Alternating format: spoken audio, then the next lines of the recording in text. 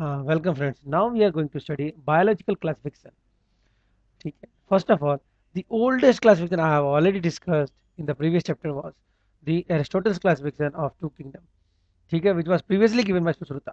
So old father of two kingdom classification is Aristotle, but nowadays modern father of two kingdom classification is considered as Linnaeus, which we have discussed. Now coming to three kingdom classification was felt important because in plant and animal we consider all prokaryotic and eukaryotic organisms so this was a very big hurdle. How prokaryote and eukaryote, how unicellular and multicellular all are placed together. Hence came in picture the three kingdom classification given by Ernest Haeckel. He classified Protoctista as the third kingdom of life. In Protoctista, what we include? We include the those organisms which are unicellular.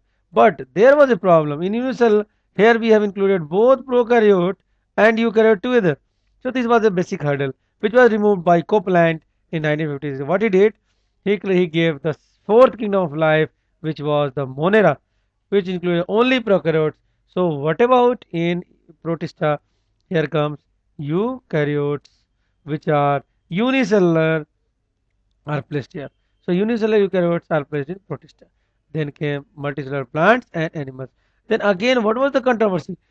Fungus was not placed anywhere, virus was not placed anywhere. Hence came in picture fifth kingdom, which was given by Whittaker.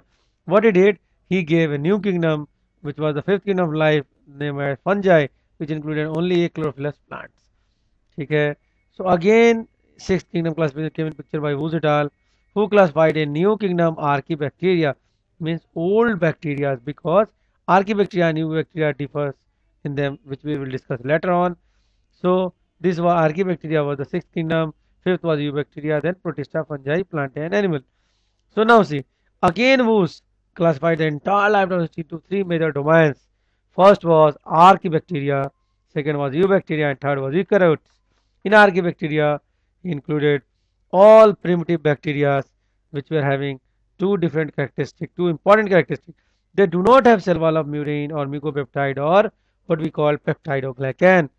Similarly, they have different gene for 16S ribosomal RNA and they can thrive in extreme environments. These are the basic characteristic of Archaebacteria due to which they are classified separate from Eubacteria. The example of them are Halophiles, Thermostophis. One of the very important bacteria is Thermus aquaticus, which give a stacked DNA polymerase, which is used in PCR machine. Now, which is used in PCR machine in biotechnology. Now, second was Eubacteria, which include modern bacteria, and third was eukaryotes as a whole. So these are modern three domains which we discussed. Okay, according to Woese. Now, see friends, coming to the kingdom Monera. Let us start first kingdom of life, the Monerans.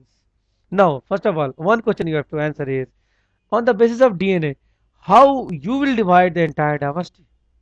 So answer will be on the basis of DNA, you can divide the entire diversity into only two kingdoms, which will be prokaryotes and eukaryotes. Now coming to kingdom Monera, old name of Monera was Mycota, which was renamed by Dougherty and Allen to Monera. Now, first is archaebacteria. We have already discussed the characteristic. Second is eubacteria.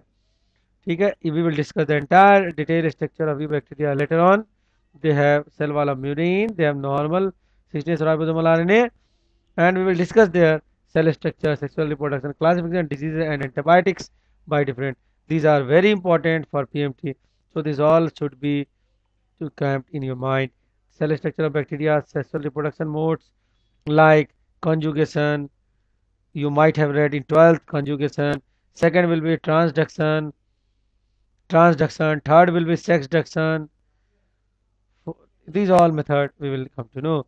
Then classification. You all might be knowing classification like monoflagellate, biflagellate, multiflagellate. We have there in plants.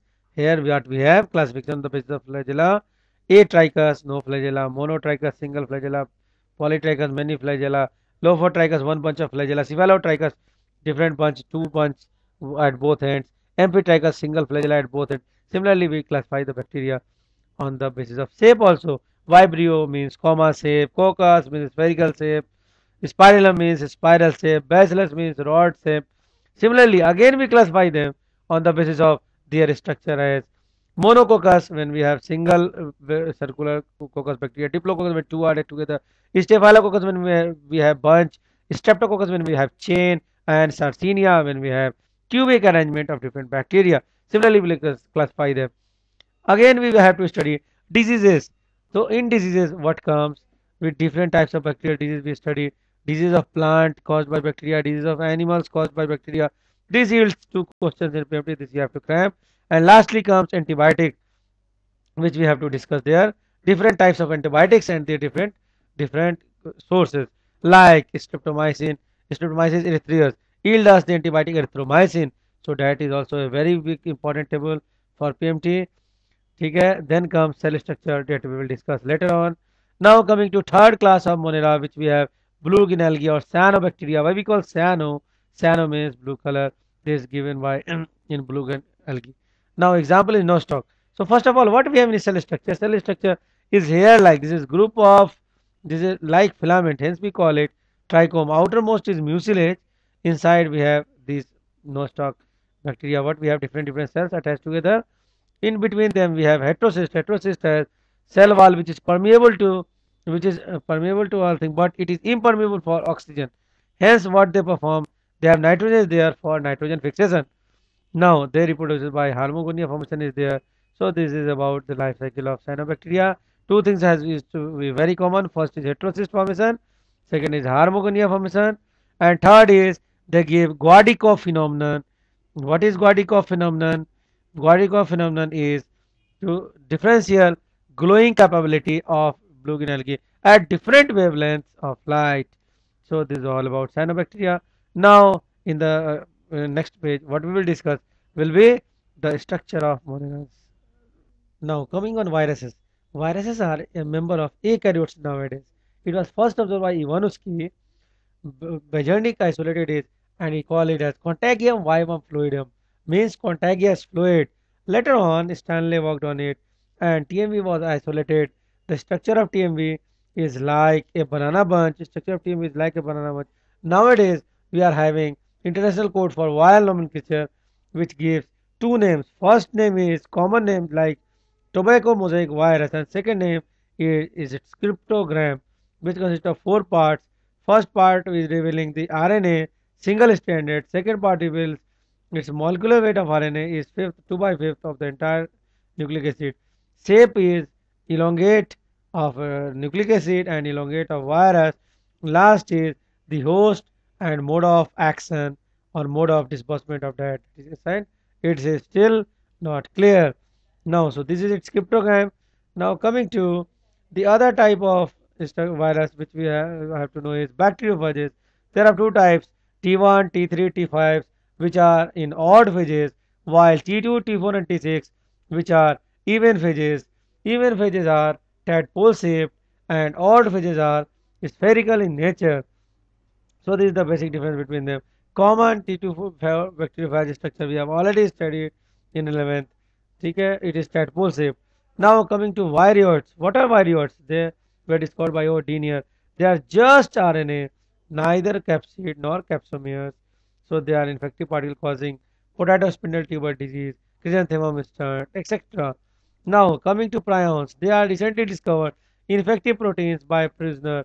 They causes mad cow disease, etc. Okay. Hmm, now coming to classification of virus, which was given by Holmes. So they classify viruses into two types: DNA virus and RNA virus.